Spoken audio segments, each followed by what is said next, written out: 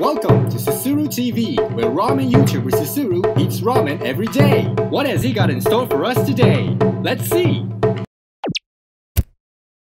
Susuru is off to slurp some ramen again. Let's see where he's at.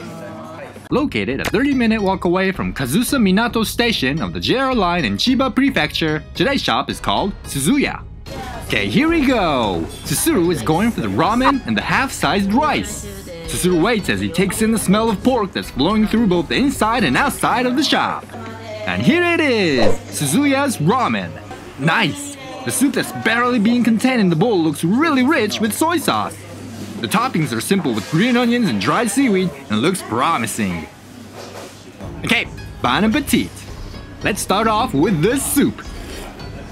Wow! As Susuru suspected, the soup is really rich with the flavor of soy sauce, and at the base is the pork essence he's been smelling since he got here. The pork essence comes from the soup they used to make the chashu in.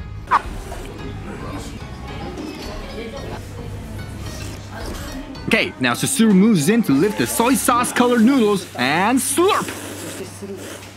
Hmm, the noodles here are a little bit soft, yet a little bit chewy on the inside.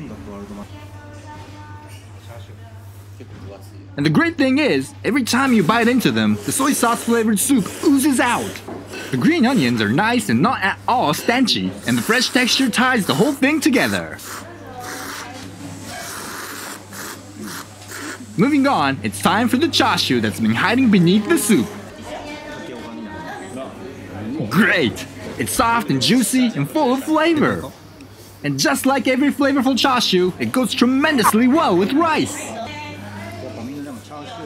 The flavor fuels Susuru's appetite even as he's slurping, so he can't stop taking in the pork essence filled soup and the soaky noodles.